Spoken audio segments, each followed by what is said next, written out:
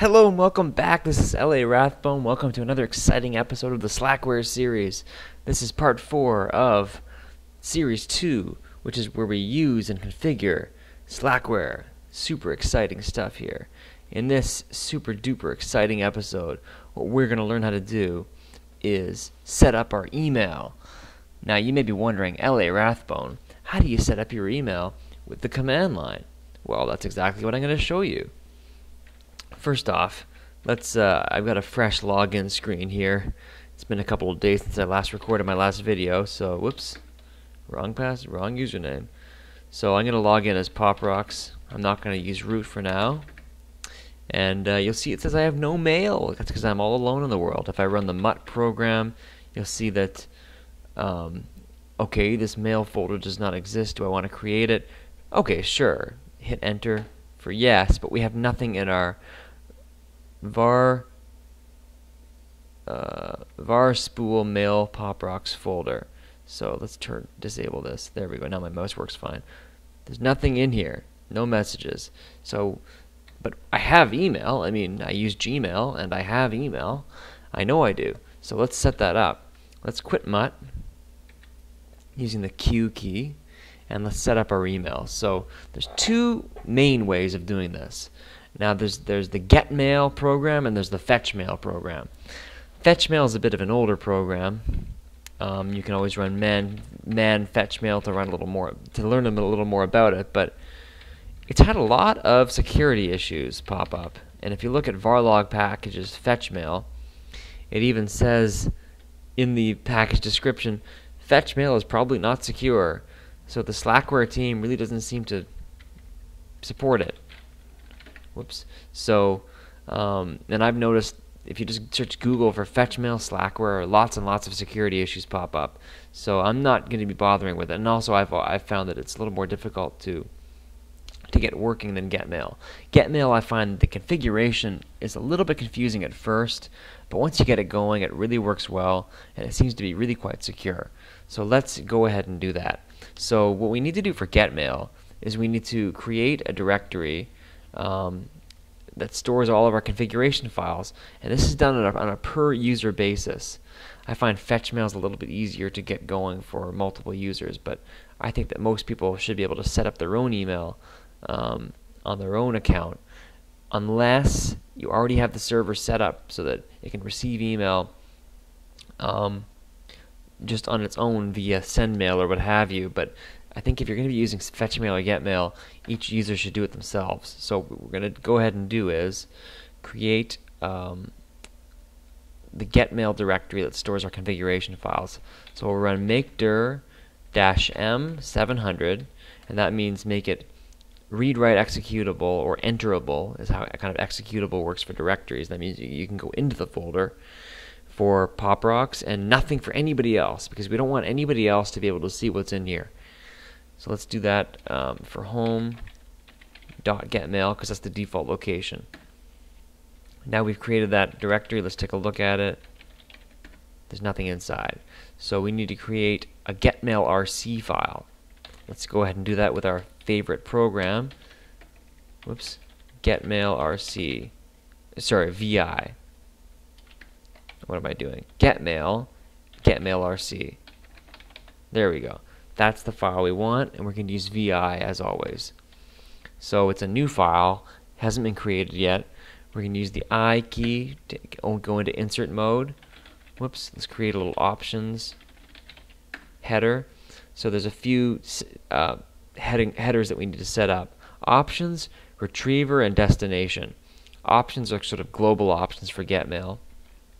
We want to make read all equal false and that's because we're going to be setting up a Gmail account with, with IMAP.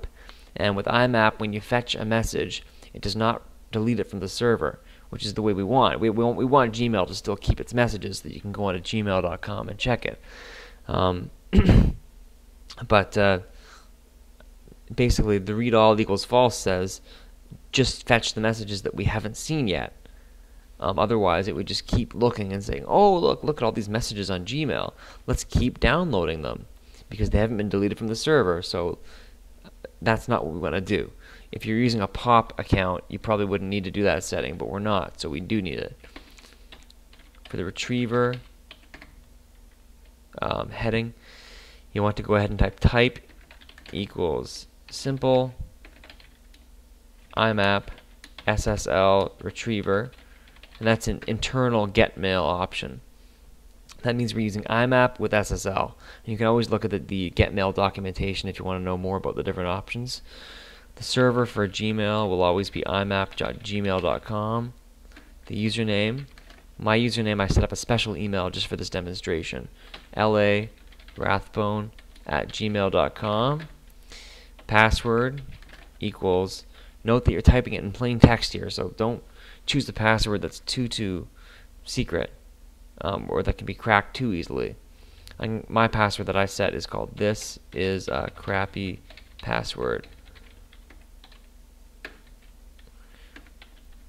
Destination is the next header. Type. Um, we might be showing some, we might, might be showing off how to use some standard Unix tools like procmail later on to sort out our mail. But I want um, to set things up in a very traditional Unix-like way. So what I have to do with getMail that I would not have to do with fetchmail is do type equals mda external, path equals user bin procmail. You don't really have to know what that is for now. Just know that that is a very standard MDA mail uh, sorter router program that comes with almost all standard Unix uh, or Linux distributions. So leave that, just trust me on this one for now. And again, just trust me on this option for now. Unix from equals true. That's required to make procmail work. And that's all we need for that file. So let's do colon WQ to quit. Let's take a look at the permissions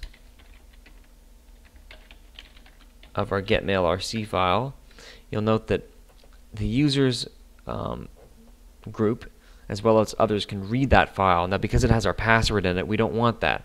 We only want PopRocks to be able to do anything with it. So we're going to run chmod um, 6, which means for the first group, they can read and write but not execute it. And 00, zero means um, groups can do nothing, others can do nothing on that file. Getmail, getmailrc. Now if we check it out again, you'll see that it's only read write for pop rocks. Nobody else can touch it. So now that we've got that um, file permission properly, we also want to we want to test that to see if we can now receive email.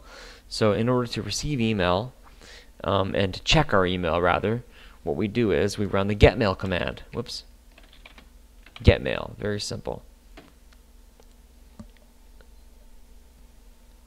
And it says that I have received one message because I only have one in my Gmail account right now. And now it's telling me that I have new mail in varspool mail pop rocks. And this is the Biff program telling me that. So I can run the mutt command that we used before to take a look at my email.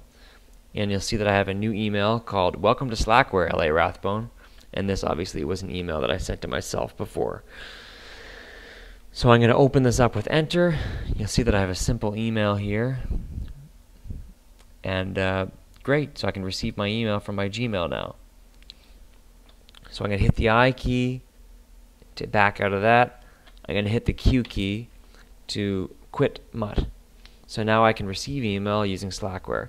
And I'm just going to show you now how to receive email automatically every minute. And I'll meet you back here because I need to check, I need to verify my settings for that. Alright, we're back. I'm just going to clear the screen by doing this. Hopefully that'll work.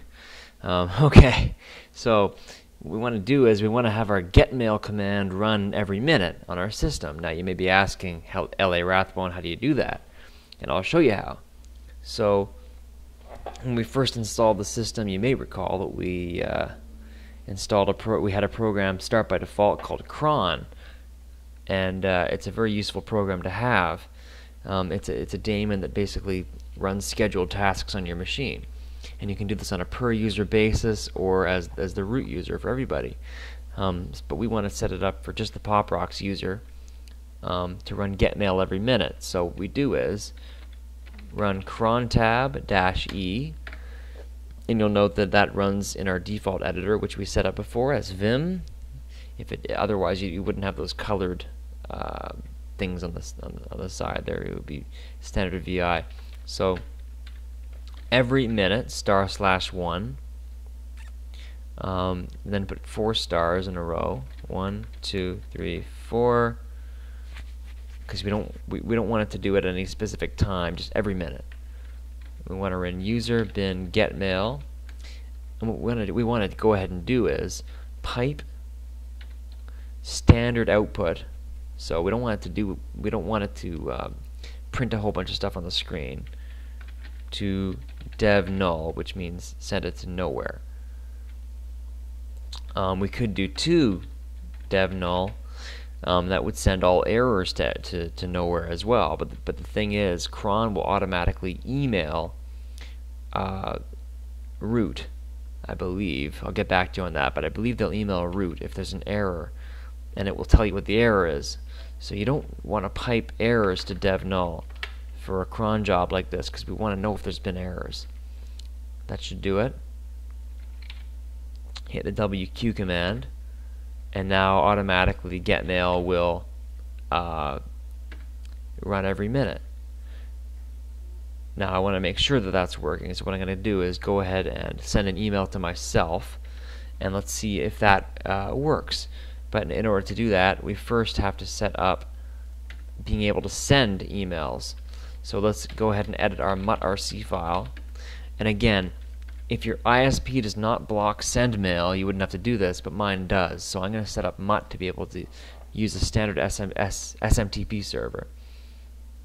So on my muttrc set SMTP URL equals, and this is this this will work for your Gmail.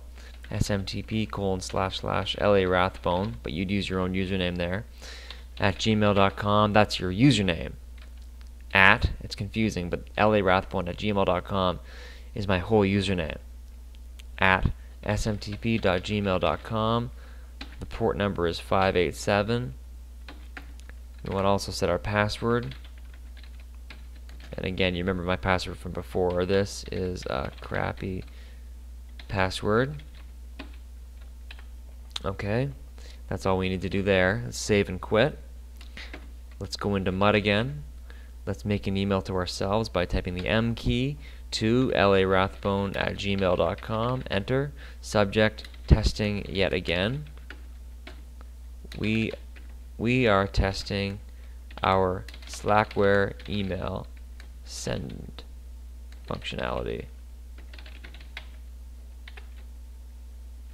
Okay, and you'll note that again we're using our default editor, which is Vim, so it's, that's why it's important to set that early on. WQ to save our message. Hit the Y key to send it to, to ourselves.